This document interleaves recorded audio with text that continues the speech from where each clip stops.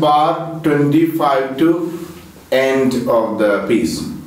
It is um, start with very interestingly a lot of cross string is there, semiquavers are there, staccatos are there. But if we are careful, we can get all this clearly. Like here, four note you have to accommodate in one go. Beautiful slur. Make sure that when you practice, all note need to be heard clearly.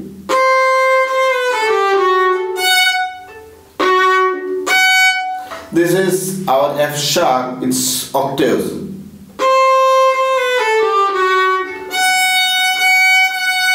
Listen that F sharp.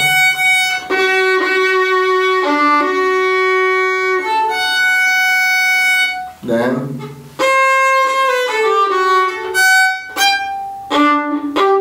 staccatos. Then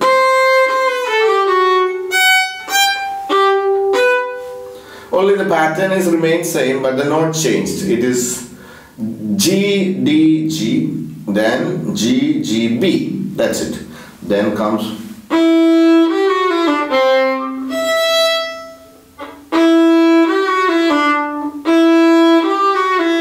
all four note need to be heard clearly.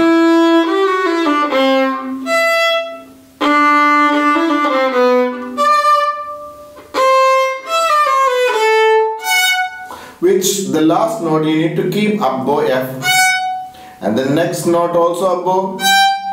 By doing this, your thumb, so your index finger is ready for the pizzicato because the last two notes are pizzicato and you need to reach somewhere here.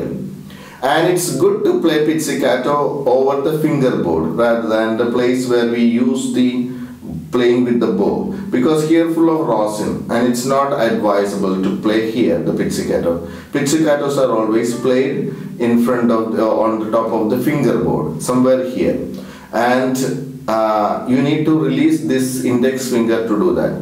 So when you do that here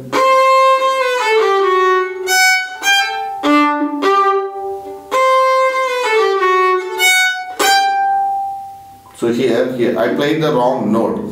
Watch here now. A bow.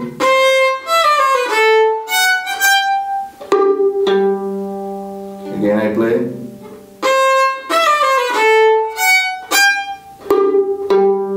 Both are G. So it sounds beautiful G sound.